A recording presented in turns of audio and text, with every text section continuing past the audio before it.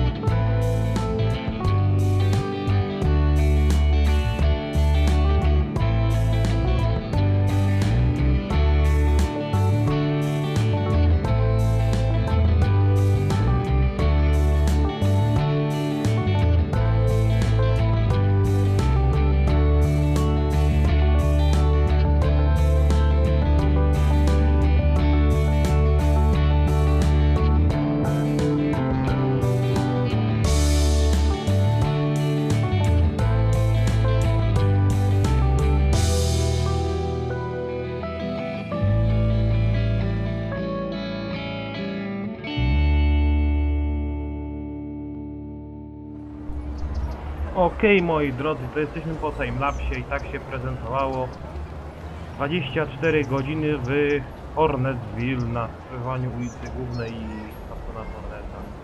Oni już się trochę zdążyli pobudować, widzę.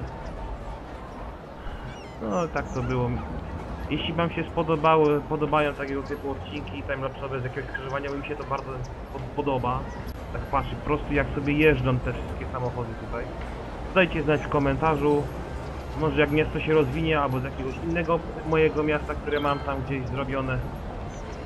Też wybiorę skrzyżowany, gdzie się coś bardziej dzieje. No, mimo wszystko ruch tutaj jest w miarę dość spory. Ten polones tutaj. Tak, pracuje. Gdzie ona pracuje? Aha, jest tu, tu pracuje. Hmm. A samochód ma tam. Czyli przyjechała taryfa na to wygląda. Dobra. Tylko wam pokazałem trochę więcej chciałem, ale dobra. To by było na tyle w tym takim dosyć nietypowym odcinku. Jak mówię, spodoba, spodobało wam się coś takiego, to dajcie komentarz, łapkę w górę. I czy mam zrobić więcej tego typu filmików. Więc jeszcze raz, dziękuję wam za uwagę i do usłyszenia na razie. Cześć!